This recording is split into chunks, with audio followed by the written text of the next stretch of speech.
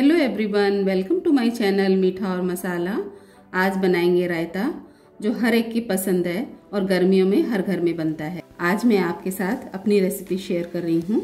I hope you like it शुरू करते हैं। मैंने 500 ग्राम जितना दही लिया है और स्ट्रेनर में डाल के इसका थोड़ा पानी निकाल लिया है, ताकि हमें अच्छा गाढ़ा दही मिल जाए।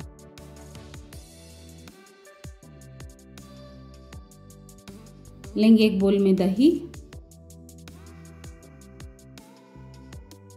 और डालेंगे दो चम्मच जितना दूध।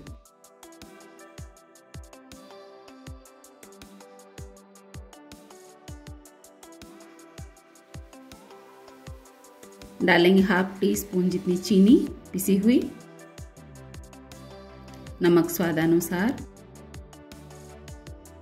Pink salt. बारीक कटी हरी मिर्च।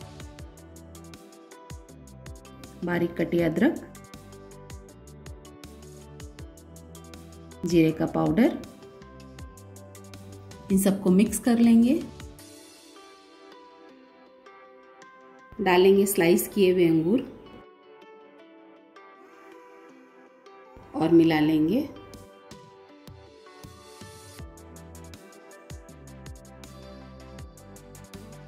डेकोरेट करेंगे अंगूर से और धनिया के पत्ते से।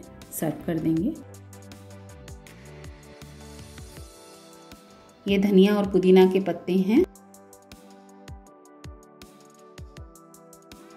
डालेंगे आधी हरी मिर्च। आधी टीस्पून जितनी चीनी। नमक स्वादानुसार थोड़ा सा पिंक सॉल्ट। जीरे का पाउडर। और आधा चम्मच इतना दही डाल के इसका एक पेस्ट बना लेंगे।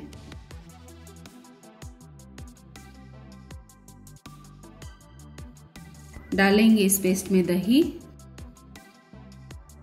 और मिक्स करेंगे।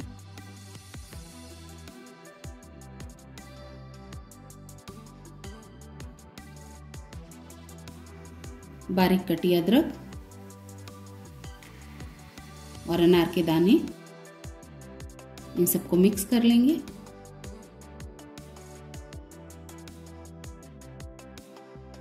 और सर्व करेंगे कुछ अनार के दाने डाल के। उबलते हुए पानी में डालेंगे अंगूर। और एक मिनट तक के लिए उबाल लेंगे।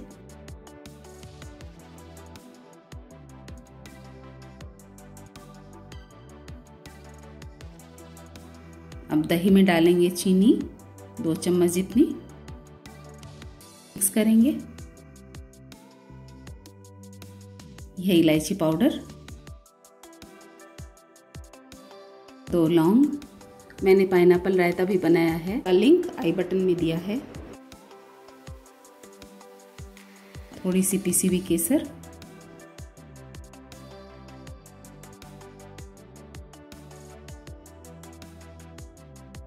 मैंने ये अंगूर के साथ बनाया है। आप किशमिश के साथ भी बना सकते हो। करेंगे अच्छे से मिक्स और सर्व करेंगे केसर से डेकोरेट करके। वीडियो अगर अच्छा लगे तो लाइक करें, शेयर करें और मेरे चैनल को सब्सक्राइब करें।